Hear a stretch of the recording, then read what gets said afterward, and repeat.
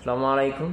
Mulai dengan masuk ke browser, saya pilih Chrome dan ketik ktki.kemkes.go.id di laman browsernya. Selanjutnya masuk ke website KTKI dan diarahkan ke bagian tampilan seperti ini. Klik kotak tutup. Kita klik belum punya PIN karena kita baru mengajukan STR perpanjangannya. Nah, di sini akan muncul kotak atau e, isian meminta email pribadi kita. Nah, email ini usahakan adalah email yang aktif ya. Email yang kita gunakan untuk WhatsApp, untuk YouTube, untuk Facebook dan sosial media yang lain agar kita mudah menerima notifikasinya atau pemberitahuan dari KTKI ketika kita menggunakan email tersebut.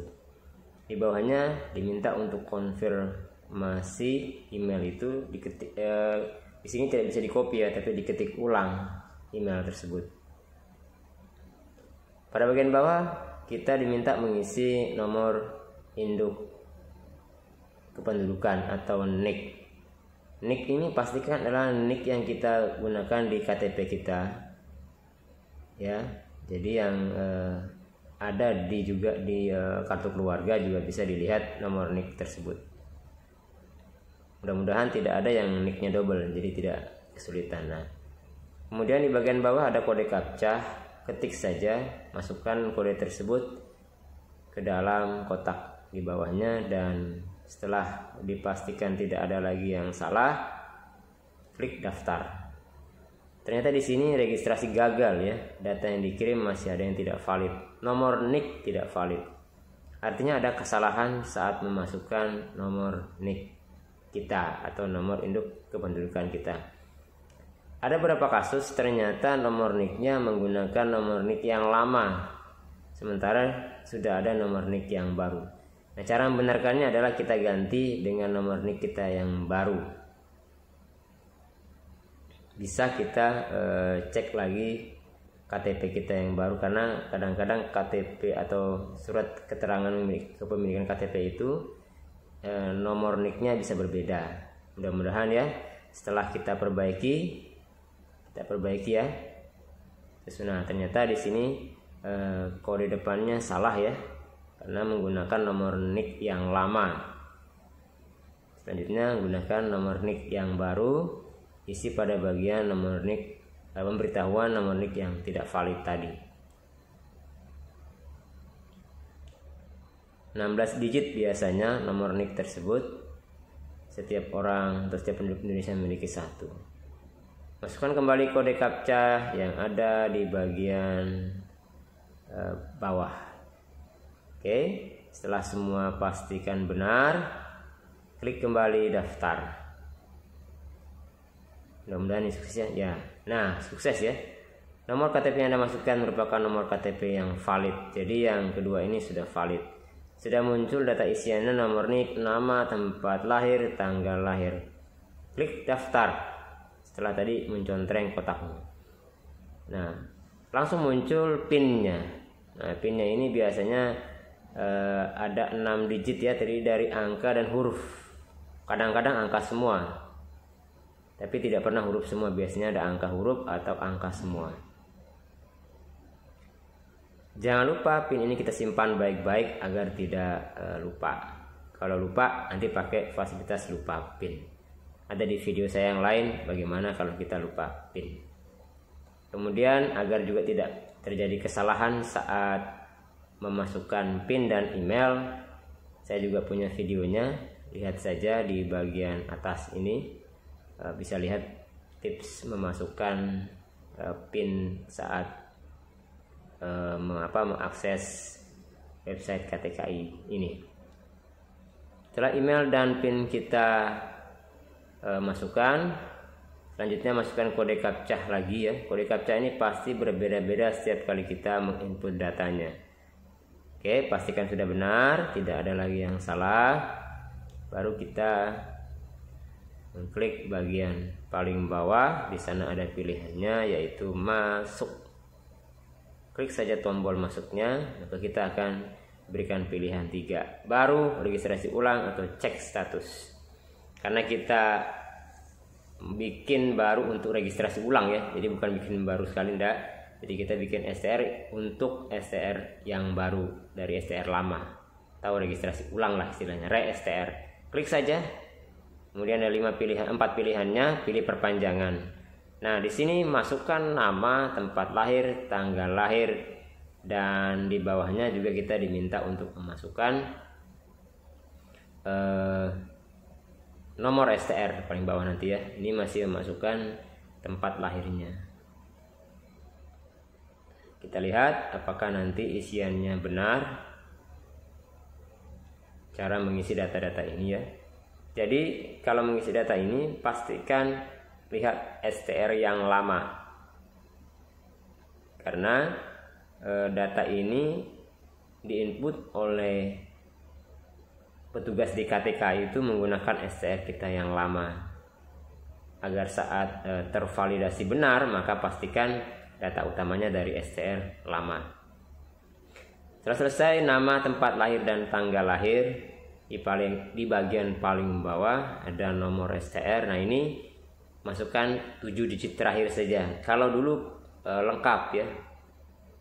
14 digit kalau saya tidak salah. Nah sekarang cukup 7 digit terakhir saja pada nomor STR nya buka saja STR lama. Kirim. Nah ternyata di sini kami tidak menemukan data STR Anda terdahulu. Silahkan perbaiki. Nah, berarti ada salah satu data dari nama tempat tang tempat lahir, tanggal lahir atau nomor registrasi kita yang salah. Lihat lagi CR-nya apakah sudah benar sesuai dengan uh, yang kita isi ya, sesuai dengan STR lama.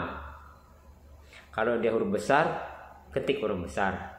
Kalau huruf kecil, huruf kecil. Kalau ada spasi seperti ini ya. Nah, ini di STR lamanya ternyata uh, ada spasi-spasinya setiap hurufnya karena dia cuma satu suku kata meskipun tidak harus begitu ya nah jadi pastikan STR kita ada. Setelah pasti benar ketik lagi kemari kirim. Menunggu beberapa saat setelah kita nah ternyata data kita valid dan diterima oleh sistem. Nah, sekarang kita punya pilihan. Mau pakai data dari Disdukcapil atau dari uh, eh, STR lamanya. Lihat ya, ada perbedaan ya KTP-nya dengan STR lama. Terserah saja, pilihannya terserah uh, kita mau yang dari KTP atau dari STR lama. Ya ini saya pilihkan yang dari KTP saja karena tidak perlu pakai spasi nama itu sebenarnya. Kalau dia satu suku kata saja. Pada step pertama kita diminta mengisi info pribadi Nah, masukkan eh, dokumen-dokumen eh, yang harus kita upload. Pertama kita masukkan adalah foto. Foto ini foto ukuran 4 x 6 cm ya. JPEG di bawah 200 KB dan pastikan dia kita dalam posisi menghadap ke depan tegak orangnya ya. Seperti itu dan tidak boleh senyum kelihatan gigi. Senyum boleh tapi jangan kelihatan gigi kemudian masukkan uh, yang lain seperti keterangan STR lama keterangan sehat dan rekomendasi untuk keterangan sehat pastikan dokter yang mendatanginya memiliki SIP atau dokter PNS lebih amannya. Sedangkan STR lama masukkan STR lama kemudian rekomendasi itu didapat dari uh, apa namanya hasil hasil kecukupan 25 SKP sebelumnya. Itu diambil dari akun membership PPNI kita kalau kita anggota PPNI ya. Kalau profesi lain silahkan menyesuaikan dengan aturan di profesi masing-masing kemudian masukkan di sini ya sudah setelah kita masukkan nomor yang lain-lain kita masukkan nomor NPWP ya kalau punya NPWP ini boleh dikosongkan ya sejawat tidak perlu harus diisi. Oke kemudian detail alat alamat rumah ini sesuaikan dengan KTP ya guys. Supaya e, nanti saat kita mau gunakan korespondensi bisa terkirim ke alamat rumah kita nah detail alamat rumah isi saja alamat rumah sesuai dengan KTP-nya ya. Oh ya jangan lupa kalau kalau bisa saat mengisi detail alamat rumah ini eh, kita menggunakan alamat di mana kita tinggal sebenarnya. contoh misalnya kita KTP-nya KTP Papua tapi kita eh, ternyata tinggal di Kaltim gitu ya. Saya sarankan kita tidak usah menggunakan alamat di Papua tapi gunakan alamat di Kaltim saja. Nggak apa-apa nggak masalah sebenarnya karena di sini tidak menuntut adanya eh, fotokopi atau dokumen KTP kalau perpanjangan. Lah kalau baru itu butuh KTP nah kalau lama atau perpanjangan tidak membutuhkan. Lengkapi semua data-data tersebut sesuai dengan alamat kita. Kemudian untuk pemilihan kantor posnya saya sarankan yang ada disediakan oleh sistem pilih yang tersedia. Kemudian uh, isi di bawahnya nomor handphone. Nomor handphone kita kalau saya tidak salahnya nomor handphone aktif ya. Supaya apa? Supaya nanti saat STR-nya sudah jadi dan ada di kantor pos itu petugas pos itu bisa menghubungi kita langsung untuk pengambilan eh, STR di kantor pos Oke, korespondensinya buat saja sama gitu ya dengan alamat rumah. Nah, tinggal kita mau kirim ke mana. Saran saya kita kirim ke tempat ya tinggal atau tempat bekerja lebih lebih enak sebenarnya tempat bekerja. Supaya gampang. Oke, berhasil ya step 1. Step 2-nya kita isi eh, tentang info administrasi kita sudah bekerja atau tidak. Kalau tidak bekerja, klik saya belum bekerja. Kalau sudah bekerja, uh, klik uh, yang sudah bekerja. Nah ini kebetulan yang diinput ini adalah kawan kita yang kerja di perusahaan, maka dia uh, pilihannya adalah lainnya. Uh, satu tempat kerja swasta, kliniknya ya, nama tempat kerjanya klinik ya teman-teman ya. Kalau yang bekerja, kalau yang tidak bekerja gimana? Tulis aja. Tadi kalau tidak bekerja kan pilihannya belum bekerja, jadi dia tidak akan ada isiannya. Kalau yang sudah bekerja ada isiannya. Di mana pun yang penting dia bekerja. Terus bagaimana kalau seandainya kita bekerja di kantor desa perawat gitu ya? Isi aja. Kerja di kantor desa nggak ada masalah. Kan kita memperpanjang STR e, eh, untuk kepentingan kita sebagai profesi ya. Nah, kemudian di semua provinsinya kabupatennya lalu e, status kepegawaiannya. Telepon kantor sama ekstensinya boleh dikosongkan. Pendidikan jangan lupa jangan salah pilih karena ada yang salah pilih ke luar negeri bingung itu posnya mau kirim ke mana. Ya, pilih dalam negeri Indonesia. Nah ini ada dua pilihan saja di bawah D3 atau di atas uh, sama, uh, sama dengan atau di atas D3 kalau di ke atas pilih saja yang kedua kalau SPK pilih yang di bawah kemudian uh, ketik ya pilih uh, akademinya atau institusinya. Nomor jasa ini masih bisa kita perbaiki pada saat seperti ini ya. Nah, itu banyak kasus itu nomor jasanya salah. Nah, perbaiki di saat kita menginput pertama kali seperti ini. Tanggal ijazah juga sesuaikan dengan kalender yang sudah dibuat eh, oleh sistem di KTKI. Selanjutnya kompetensinya perawat dan seterusnya. Oke. Selesai ya penyimpanan data administrasi berhasil.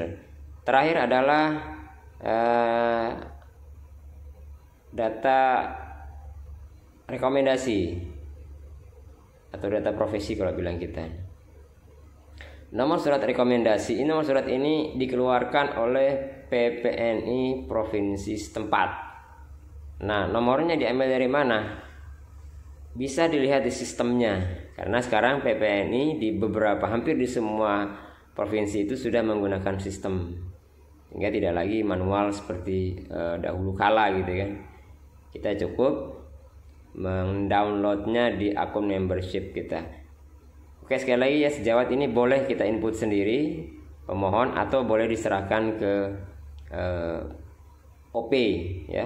Baik level komisariat DPD yang inputkan nggak apa-apa. Boleh-boleh saja. Nah nomor surat rekomendasi ini ya kalau untuk perpanjangan ya uji kompetensi lulusan. Kalau yang baru komnya nomor kom tapi kalau yang perpanjangan cukup nomor surat rekomendasi dari BPN ini saja yang digunakan oke sudah selesai? Klik selesai. Nah di sini kita bisa lihat tampilannya atau draftnya draft STR kita seperti ini. Nah, kalau yakin sudah semua data sudah benar klik saja kotaknya. Saya setuju dengan data tersebut. Selamat registrasi selesai. Dan kita tinggal menunggu cek status ya. Nah ini. Tunggu saja uh, seminggu paling lama akan divalidasi oleh KTKI oke subscribe channel aku ya